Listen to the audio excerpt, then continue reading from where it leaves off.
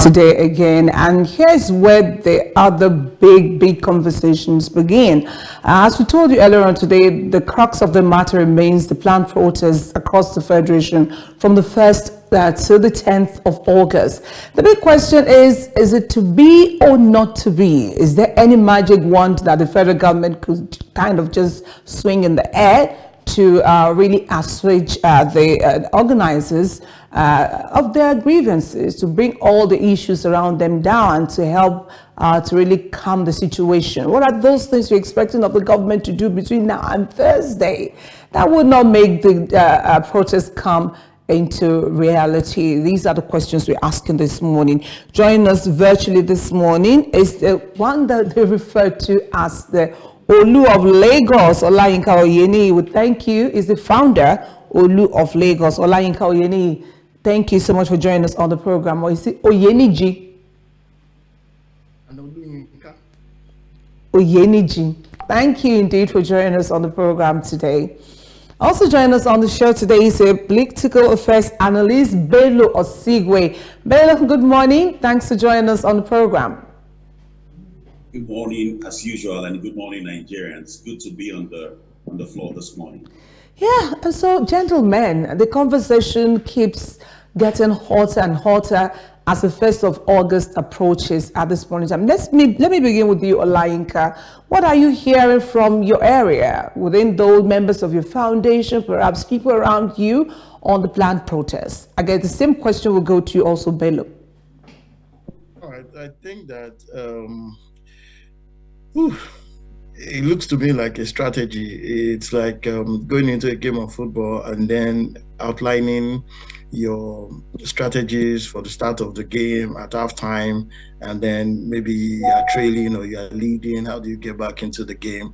How do you close it out? And uh, with I don't mean any innuendos. That's what it looks like. Yes, uh, I believe that the third sector is pushing hard. Uh, I believe that the idea of a protest started from the third sector possibly advocacy groups and non-governmental organizations. I know that Nigerians uh, are going through uh, suffering at this time, but um, Nigerians have always been resilient, if, if truth must be told. But it's gotten to a point where the third sector just thinks that we should take the government head on. And um, I believe the third sector is driving this. I don't think that um, the call for protest is won by all Nigerians. Everybody keeps looking for the messiah that will come and turn things around in Nigeria. I think that the third sector has taken it upon itself to drive this um, uh, campaign to have uh, protests. I don't think that it is a collective will of Nigerians or that many people will get involved as of yet. I suspect it's still the third sector driving this. That's uh, my feeling uh, from the streets. Yinka, I, I, want to believe that uh, your your feeling is um, is a function of um, survey and research work done around um, around um, your your vicinity. Um, let's put the same question across to Bello Bello Shigwe. Uh, let's get your thoughts. What what what signals are you getting around around your area?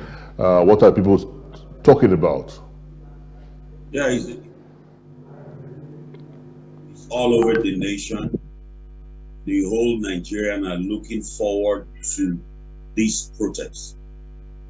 Even though at best the government and its officials are trying to discourage Nigerians from coming out to, um, you know, air their grievances over the nepotic nature and the maladministration of his government and the previous before it, the vibes in the air, particularly in Eko, Lagos, is that everybody are gearing towards coming out.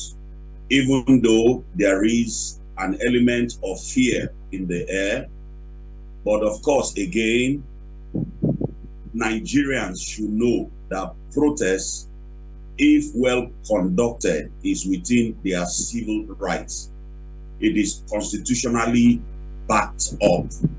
So no government official or his um, or its agents to try to dissuade or discourage Nigerians from airing their view.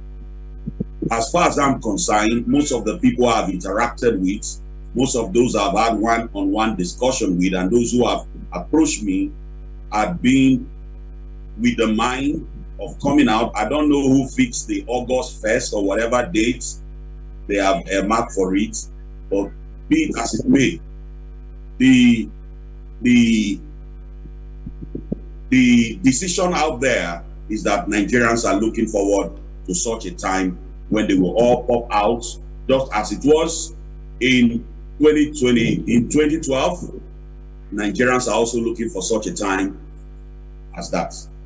All right, uh, thank you indeed, uh. Let, us come back to you at this point in time, Luyinka, and uh, take a look at what um, many people are asking for. Luyinka, I beg your pardon, what they're asking for. Uh, I'm not, I don't know if you've seen the, the, the list of demands. There's some demands, I beg your pardon, by the organizers or even the ones that you're hearing from Nigerians. But what you can really hear is that one, you get to hear um, things like hashtag end bad governance, hashtag, uh, hashtag end hunger, hashtag end hardship. So many hashtags there uh, moving towards uh, Thursday. Uh, when you look at all of these issues on the table, are they valid and are there other ways the government could have handled things better to ensure that it averts what could happen from Thursday? And, uh, so first of all, um, for full disclosure, my organization hasn't conducted a survey uh, to gather the, the, feelings of Nigerians. Well, we play in the third sector and we've been interfacing with colleagues uh, in the advocacy space. So people want to protest or they think that they should exercise their rights to protest. So just to correct that. Now, uh, second thing, uh, I think that the government has handled this very badly. I think that the government played into the hands of the third sector. Um, so first off, why should we get to this point where uh, the citizens, whether by themselves or represented by the third sector, would have to hold the government around some of a call for protest? I I would never ever understand it. Uh, I was speaking with a colleague yesterday, and I said I thought that Lai Mohammed was the worst minister for information that Nigeria had. Now we have a minister for information whom I don't know and who is mismanaging communications on behalf of government. It's unbelievable. And, and that's the problem that we face. First lesson there, before we even get into office, we should start to identify credible hands competent with character that are able to manage portfolios assigned to them, whether we have uh, reading on the back of political favors or not. We should identify people who are well, uh, who are seasoned for uh, the, the relevant portfolios. You don't just put people into offices because they think it's relevant or that it is a, a place where uh, you can give them some aggrandizement. It's zero. We don't have a minister for information in Nigeria as of today. And I think that we should use this platform to call the Minister for Information out. Okay, the government has been doing some significant work in the last six months minimum. First off, this government is barely one year in office. There's no doubt about that. The only thing, the only argument against that is that we've had the All Progressives Congress in office at different levels in the last, say, 12 to 15 years, and then in Lagos, say, about 20, approaching 25 years. Okay, that's the only argument. However, this government is in office. So, what do you expect? What's the argument for the third sector? You come into governance prepared. Okay, so we expect that the government should have come in prepared. Okay, that is taken. But we now have local government autonomy. I didn't give that lawsuit a chance, the lawsuit to the Supreme Court, because I have in the last, in the last, I've been practicing since 2003.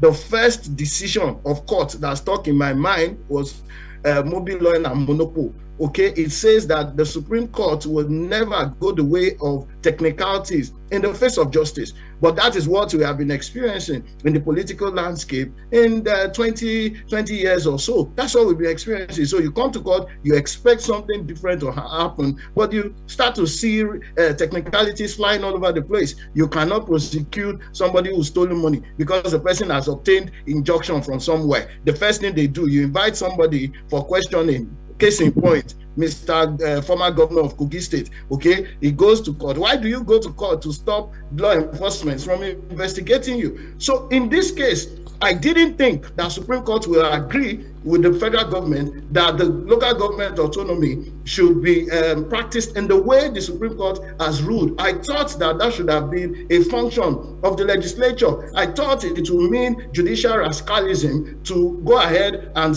enforce uh, local government autonomy at the court rather than by the legislature to amend the constitution. But the Supreme Court did that pleasantly, something I don't agree with. Nobody is talking about it. That is something that the Minister for Information should have jumped on to say in our drive to enforce true federalism. We went to court and within weeks, it wasn't up to eight weeks that the Attorney General of the Federation filed that lawsuit. The judgment came out. Some, something that I would never have thought it The government yes. has, excuse me, let me round up on this one. The yeah. government has been taking steps to as uh, to meet those demands even before they were made, but nobody is talking about it.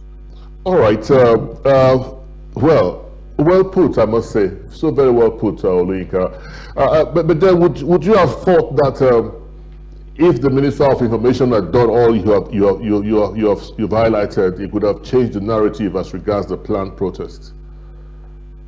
Oh, yes, it would have. If I was the Minister for Information, I would have highlighted all the things that this administration has been doing in that regard. I would have talked about the fact that the administration supported Dangote Refinery to completion and that we are now at teething stages of deployment. I would have talked about the uh, local government autonomy. I would have talked about the ongoing constitutional amendment and the fact that the bill for the how, how does that, How does that deal with the concerns that Nigerians are that some of Nigerians are, are, talking about. The hunger concern. How has that brought hunger, uh, I mean, to, to the bears, I mean, to, to, to the bear right now? How has that dealt with hunger concerns? Yeah, so the thing you do is to talk about the goals. Okay, we have identified goals that we want to, to, to achieve and that we have placed a time to it. By so, so, so time, this will be achieved check it against us. By so so time, we would have concluded on the economy with uh, the fact that we don't expect to import crude by so so time. Then there will be we, we are going to lower prices. I would have said that we remove subsidy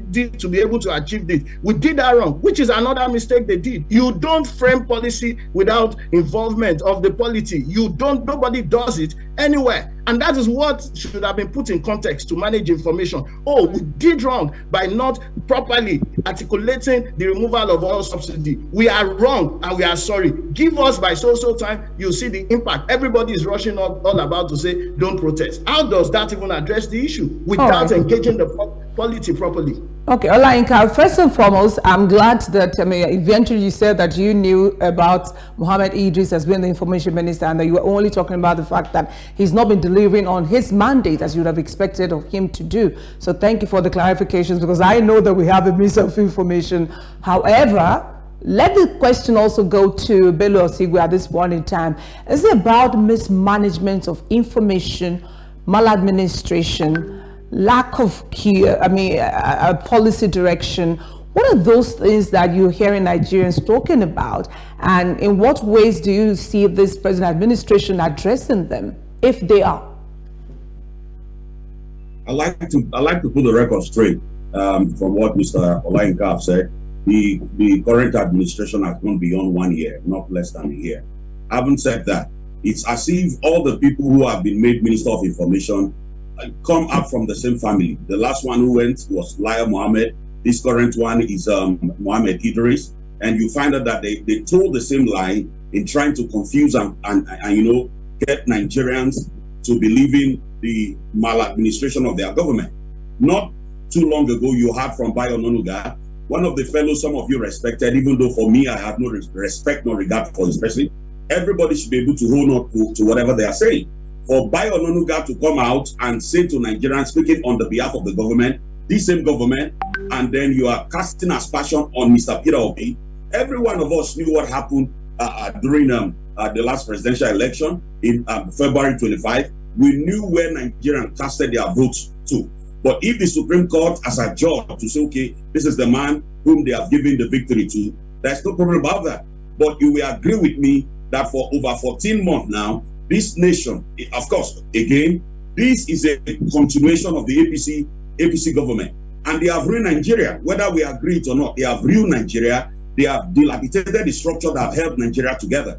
And you can't stop the people from protesting, uh, uh, uh, protesting, you know, Of course, what what what protest, by the way, it is the collective gesture of disapproval of a government that is led by a collective set of people. Nigerians are dissatisfied. For the past 14 months, Nigerians had only known poverty, hunger at the expense of some of these few people at the helms of affair, eating and eating large. If you don't allow Nigerians to protest, we will go down the drain. Not too long ago, you saw on national TV one of the member of the House of Assembly or National Assembly, whose daughter, an 18 years old child, who was graduating. My, my own daughter also graduated from this same system. And then you had someone whose daughter was graduating and you are presenting a 65 million naira SUV and you expect Nigerians to keep quiet at the face of this dilapidation, at the face of this hunger. There is no way Nigerians will continue. Even if you help Nigeria spell doom, a day is coming when that spell will break off. And we are already getting to that time. You can't you can't expect someone like Bayo Onanuga, who some of you hold in so uh, I mean so much in high esteem, coming out to disregard his personality by casting aspersion on an innocent man in the name of Peter Obi. No, we won't accept that.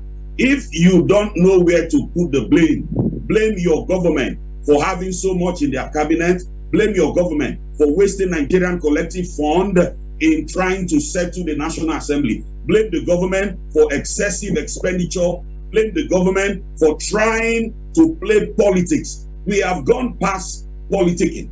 This is the time for governance. Election is over. The president and their party should begin to face governance. The people are hungry. I mean, you say you approve a 70,000 naira minimum wage. Tell me, even when it was still 30,000 and the value of the naira was still appreciative enough to acquire something. Now that the you increase that money to 70,000 and you have perhaps a tuber of yam. Let me quickly say this. A tuber of yam in the market as I'm talking to you today, the cheapest you can get is about five or 6,000 naira. So if you put 70,000 together for a family of four or five, it won't even last them two or three days. And so Nigerians have every right to vent their anger. Nigeria had every right to say, no, we can't go this way that you are taking us. And I would have even advised the president, because I've said this time and again, we are looking forward to a president we, we can call our president, not the president. As it was with the last administration, we refer to that one as the president. It is obvious also that this administration is referred as the president. We are looking for our president, one who can feel the Nigerian pain. I read over the news some time ago that is true or not, that the president is also trying to slash his salary by 50%, just as those in the National Assembly have done. Now, whether you slash by 50% or not, what addition will he have to the life of the people? Will he improve the, the, the, the, the well-being of the people? Will he increase standard of living or not? No. We need accurate policies that we address, tailored yes. to addressing the menace uh, that right. Nigerians are facing. Nigerians are going through hard time. We never bargain for this. Uh, all right, uh, uh, Bello, Bello Sigwe. Well, it's um, it's no longer news that um, the, there's a planned protest, and then uh, this this news has been has been out there for for say close to about a month that um, this notice of pro protest has been out there. Uh, what would you have thought that this government could have done differently, like in the immediate, that could have averted, uh, that could have avert, still, there's still some time, that could have avert this planned protest? It, it is not to call on the traditional rulers it is to address the consciousness of the Nigerian people. Of course, are we? You can you can correct me on this. I've never seen the, this president now engage the media on a one-to-one -one discussion. In matters like this, there are sensitive issues that have plagued Nigerians that we are all glamoring on. I love what, what Mr. Denny said. If you don't, for instance, give the EFCC the opportunity to carry out their duty, how are they going to nip all of those corrupt politicians on the board? Someone ate 80.2 billion of Nigerian and a particular state resources, and you are saying the court should cover that person. What is even wrong with our legal system? I thought from what they said, the cliche that is out there, that the legal framework or perhaps the courts is the is the justice room for the common man. But even the common man cannot access the court of today. And you have a whole lot of, you saw what happened and what is still happening in Kaduna, in, in, in, in River State. All of these are pointer to the dissatisfaction of those who have run government before now. So what would have expected this, this man to do, the president to do, is number one, as I keep saying, cut down your expenses, cut down your administration. But what do you need? What do you need over 50 ministers for? And what are the impact of these ministers? They just go to office at the end of the month, they carry millions of naira to their home, most of them to their families, and some of them to their girlfriends, whether in Nigeria or out of Nigeria. What do you need 50 ministers for? For crying out loud. And you saw the kind of policy that the central bank is rolling out. You are rolling out policies that is anti the economy. Why won't the economy have go through the system, go through the pain that is facing today? And so the people have the right to come out and protest because it is their constitutional duty. How be it? I will advise the president because in 2012, just like we have had Shehu Sani said to us, the president, Mr. Tinubu, is the father of protests. So he should also be at the forefront to tell Nigerians that, of course, I am also feeling the pain with you, but the government we are practicing this and this and these are what we met. Give us some time. And anyway, we've lost patience with timing. If you have done eight years of your party have done eight years, and now we're having a wait of about one year and about three months in this same system, there is no excuse anymore. It is either you can do the job or leave that office peacefully. That's okay, what I would advise. Okay, you are hearing some of the states threatening. I, am coming. Let me drop on this. The, you are hearing some of the states like in Lagos threatening the people with Oro. What has Oro got to do with protest? Are Oro, is Oro coming to join the protesters? This is right. just funny. We can't believe this happening in our nation. Okay, Bello, thank you for that. Uh, I mean, for those who are hearing that uh, maybe Oro is coming out, maybe uh, you can share with us how much that uh, really would affect you if it ever happens. So, Lainka, let me come to you at this point in time. Flashback, hashtag EndSARS 2020 some things went wrong with the protest and this administration is saying it is worried that it could come again. So what to talk about this after this very short break? The question will be what are the worries of even people like you as August the 1st approaches? After this time, to stay with us. The planned nationwide protests, if everything we're talking about is to go by, should take place on Thursday. But the federal government and in fact some state governors, traditional rulers, others alike are trying the best they could to ensure that this does not hold. Now, is this to be or not to be? We see how very much with us Olayinka Oyeniji, the founder of Olu of Lagos, as well as political analyst Belosi, where we're trying to really deepen this conversation. Before the break, Olayinka did start on uh, you know, uh, a flashback to what happened in 2020 during the hashtag EndSARS protest. Uh, many worries regards to what could happen on Thursday should things go wrong. Are you worried as well? Oh, well, um, I keep uh, trying to give the president a chance, to be honest. Um, I don't believe in the fact that we keep looking at the president as the father of protest or that he was actually uh, an anti-military activist. No, I don't see the president like that. I think he's a very calculated man. He's always been, and he used all of those opportunities to amass some kind of personality for himself. So I don't think that he ever sees himself as a civil rights uh, activist anymore. The same way Festus Keyamo, Dino Melaye, all of those can. I don't see them when we talk about getting military out of power and they say they play active roles. So what went wrong? So I refuse to see them that way. But if the president um, is still as smart as I, I think he used to be, I don't know. And that may have anything to do with his intellectual capability or cognitive reasoning, because I mean, he's, he's aging. Uh, I don't think that this has been managed properly. Do am I worried? Okay, if I if the president is a person I, I think he used to be, I won't be worried because that means he remains a tactician who knows when to come to the table and discuss. I mean, with the, I was disappointed about the outcome of the uh, engagement between Nigerian Labour Congress and the government to 70,000 when the Labour uh, Congress was talking about 250,000. What would, what would 70,000 buy today? So it looks like the president is a very smart man. I don't know how he got away with that. That said, I think that there's nothing to be worried about building on that with respect to the protest. I believe that the president understands what military interference or law enforcement agent interference would mean. It would simply escalate issues, it would increase tension beyond even overheating the polity. With respect to EndSARS, I mean, the president then, as a citizen, was called, okay, to for inquiries on why it went south, okay, uh, with what happened in Lagos. And we have it on audio that he said he had no knowledge of it. He wasn't told that they were going to bring military out and all of that. And Sanwo-Olu was very apologetic as a governor of Lagos State. I believe they have learned their lessons. I know that the government is uh, consists of different individuals, including charlatans, who seem to think that they are wise with respect to managing situations like this. So there will be those who will say, bring out the street urchins and the area boys confuse them, uh, um, I mean, disrupt, and then bring law enforcement agencies under the guise of calming the storm. There will be those who are offering that advice. I mean, if you look at the corridors of power, we have different kinds of individuals, people who don't have any business in governance coming out to try to uh, interfere in, in, an otherwise peaceful uh, protest. The same thing happened during the elections in Lagos State. We saw it. We can't look away from that, okay? Uh, people being threatened not to come out. I... Those same individuals need to be curtailed at this time.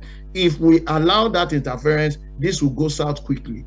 I'm saying that I don't even think the protest will achieve much. Allow the protest to go through because it doesn't even look organized yeah. at this point.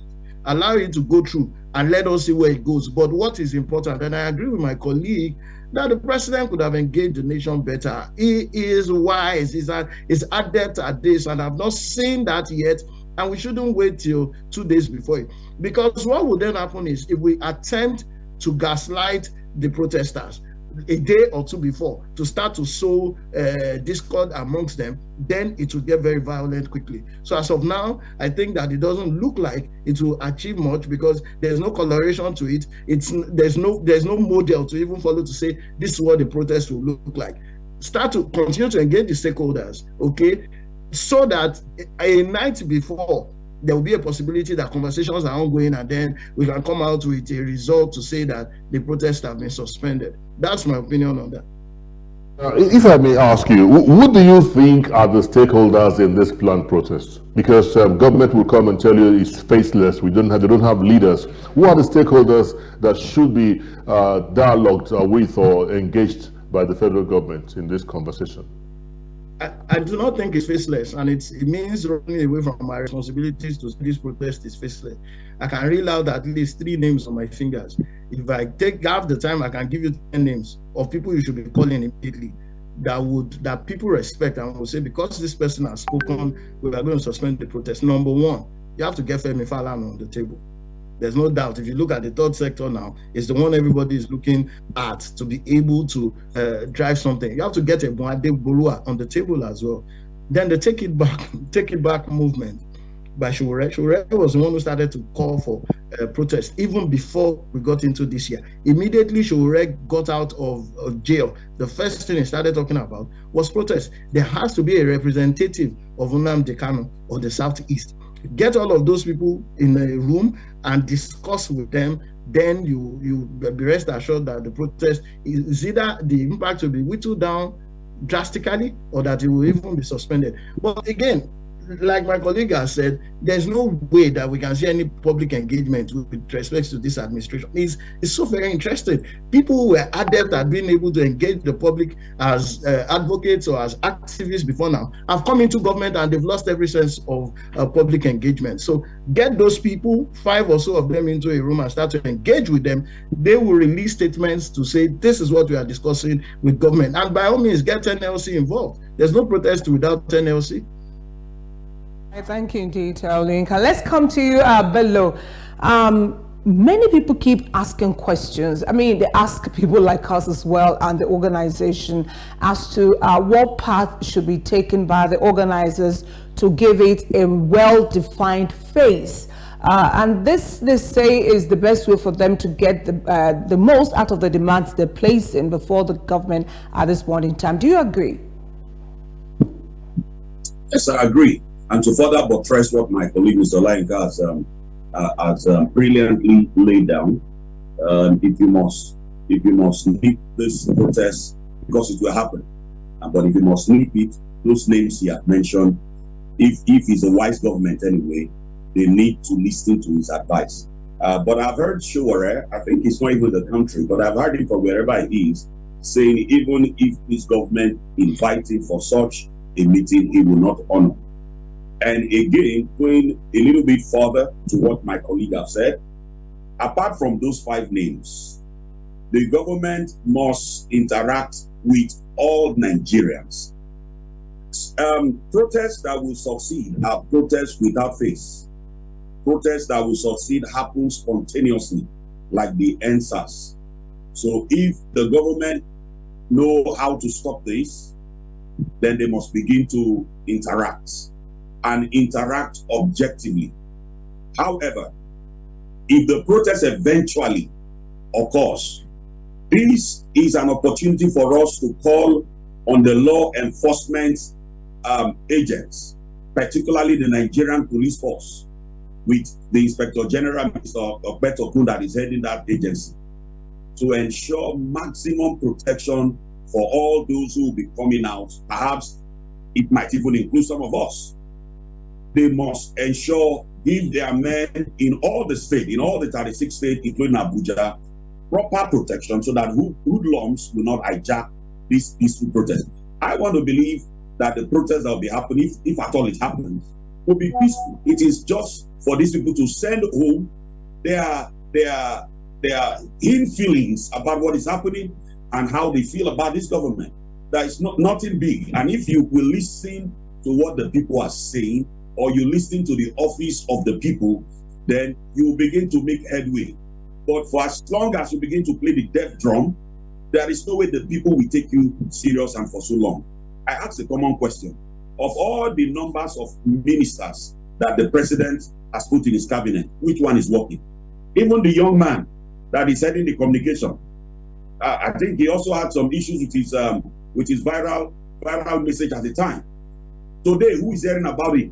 So everybody just find themselves into government. When you get there, you just sit in the cushion of your AC and the comfort of your home.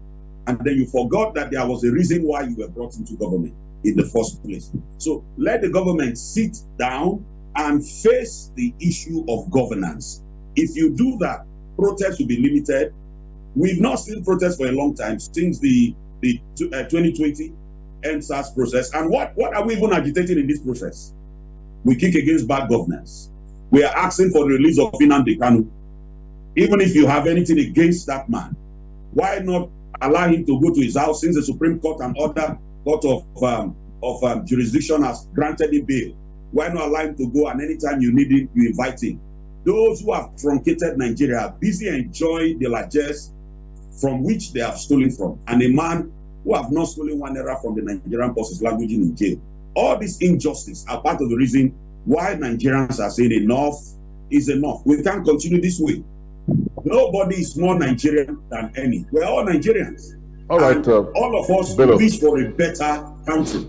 Yeah. But as it is now, the country is going down the drain. And we must all rise up and speak against it.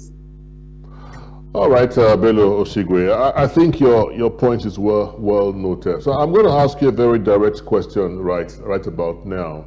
And I'll also throw that same question to uh, Oluyinka as a parting shot. Now, so in view of all the rhetorics around the planned protests, what's your direct stance on the protest right now?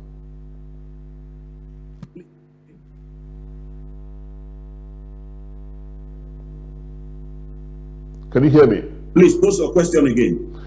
What's your direct stance? What what exactly what what do you what do you stand for right now as regards to this protest? Do you think um, we should calm down, or do you think um, the protest should go on? No, the protest should go on. What is protest? Protest is just making a strong objection about government politi uh, policies. The protest should go on. But um, I beg to differ a little um, with my with my colleague from the other side. Given those names he had mentioned, I wouldn't like any leader from NLC. If at all you want to invite people you interact with, not NLC, they are saboteurs. You don't call the NLC chairman or the uh, TUC chairman people who go to Aso Rock and they are laughing when you give them some sugar tea. No, you don't need those kind of people to negotiate protests. They are the one who truncated this process of a minimum wage. So if you must invite people at all, aside from the um, NLC, all the other names my colleague have mentioned, wonderful, respectful people, bring them on board. But I am 100% in agreement with this protest. It is affecting everyone even the president. All right, Bello, I mean, your, your stand uh, fully known there. Uh, same question goes to Olayinka. However, let me add to this. There have been reports that some of the organizers uh, uh, are in the diaspora and that they should also be leading from the front. So uh, would you rather you see them face to face, you can relate to them, they, they really are interfacing with those who want to join the protest, both those that are home and abroad, and that they should be open to further negotiations for better governance with the government? Right. Uh, so, first of all, well, you'll be shocked to know that there are people in the diaspora who cannot buy a ticket home to come and join the protest. That's number one, and that's the truth of the matter. They're talking about 4.5 million average on tickets. It's difficult to be able to, to travel to Nigeria nowadays. Number one. Number two, it's wrong to keep thinking that uh, some of the organizers uh, are in the diaspora. We don't have any evidence of this.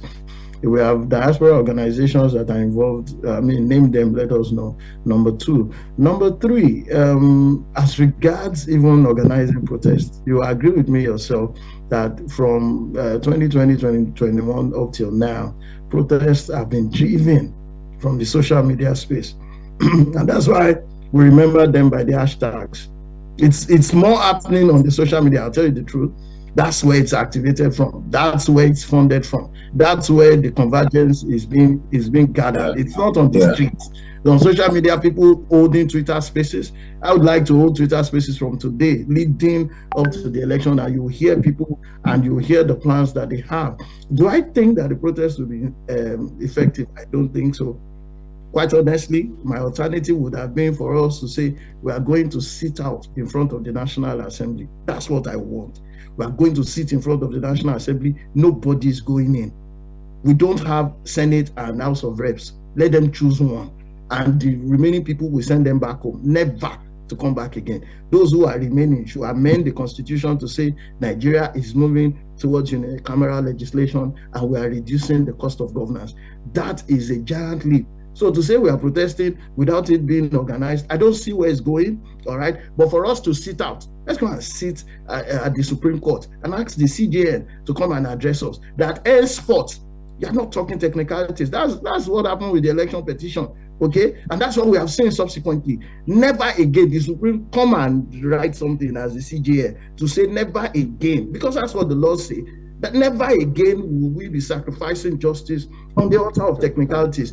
Go to Aso Rock and sit out there, sit on the floor and tell Mr. President, you have to cut cost of governance before we even start listening to you. Let yeah. the whole world see. That's what we should be talking about. Now, when we are sitting down, we already know from EndSARS that they can start shooting and deny they are shooting. We deploy our drones in the skies. Okay, we are sitting there, we are doing live. The whole world is seeing us. Start to misbehave if you can that for me is better than just saying people should take to the streets. Let's march on Abuja and sit down there and hold the conversation with the president who doesn't want to talk to us. So I think the protest should go on. I, I am sorry for the government that he has badly managed this situation. I wish that they could manage it better. all right, Oluyinka. Oluyinka. With um, goals and timelines.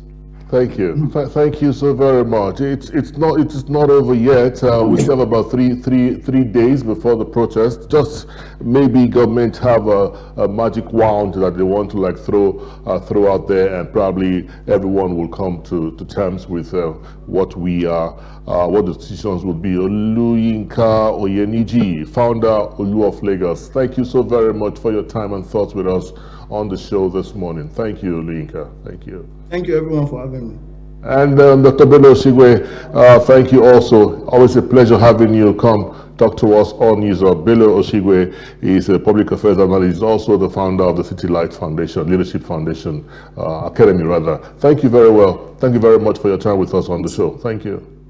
It's it's always a pleasure being in your studio, and um, we wish Nigeria well.